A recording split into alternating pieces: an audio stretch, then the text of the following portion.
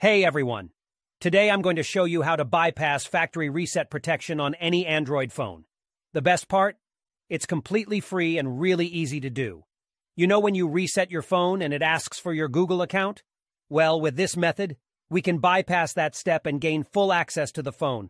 I've successfully done this on over 100 Android phones. I'll guide you step by step through the process, so don't worry if you're not a tech expert. Just follow along, and soon you'll be able to unlock any Android phone without any hassle. Okay, so the next step is to use this website to remove the factory reset protection lock from your Android phone. To do this, you'll need to provide three important details. Your phone's exact model, its IMEI number, and a valid email address where you can receive notifications. Now, you might be wondering how to find your phone's IMEI number. Well, there are several ways to do this. You can check the back of your phone, the original box it came in, or even your carrier's website. Your account details may also have the IMEI and serial number of your device. If you have a sales receipt or contract, you may find the IMEI and serial number there.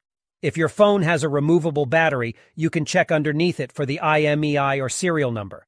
However, if your phone doesn't have a removable battery, don't try to remove it or you may damage your device. Once you have your phone's IMEI number, you'll need to fill out a simple form on the website with your phone model, IMEI number, and a valid email address. This is where you'll receive a notification when the factory reset protection has been removed. After you submit the form, your request will be processed, and you'll receive an email notification when the factory reset protection removal process is complete. I'll show you an example of what the email should look like by logging into my personal email account.